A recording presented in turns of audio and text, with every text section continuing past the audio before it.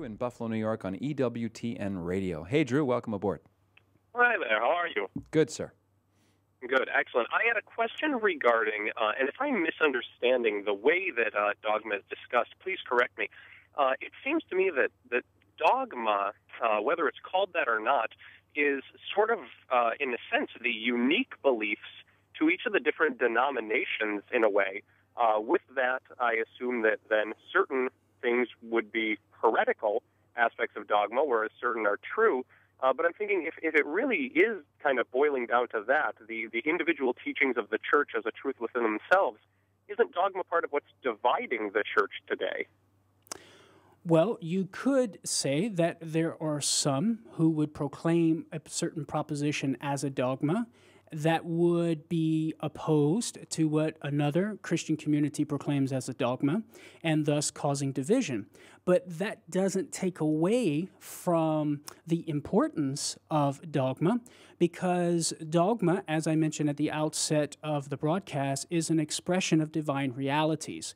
So, Drew, it, it all boils down to what did Jesus Christ reveal to us. And as Christians, and as lovers of Jesus, and as faithful sons and daughters of God the Father, we want to know what Jesus has revealed to us so that we can assimilate it into our own life and experience the joy and the beauty and the freedom that Jesus came to give us, the truth and the life that he came to give us. So, dogma is absolutely important despite the fact that there are some who might get it wrong. So when we're looking at the revelation of Jesus, his words and his deeds, some may get it wrong. In fact, human beings left to themselves will get it wrong, Drew. But the beautiful thing, Drew, is that Jesus promised that his Holy Spirit would guide and lead his church. He promised in Matthew 16, 18 that the gates of the netherworld would not prevail against it. At the Last Supper in John 14, he promised the apostles that the Spirit of truth would lead them to, into all truth. He promised the apostles in Matthew 28, verse 20, he would be with them always unto the end of the world, into the end of the age, implying that he would also be present to those who would succeed the apostles in their apostolic ministry.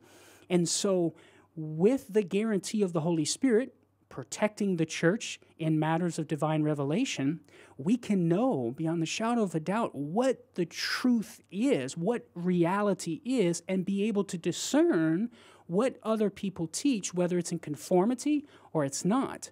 And so that's the beauty of being Catholic, having that guarantee of the truth. Karlo, do you think dogma needs a, a full PR makeover?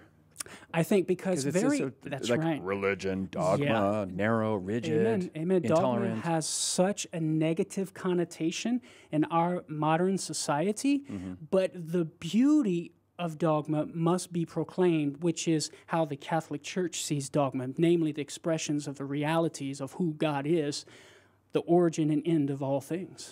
Drew, I hope that was a help.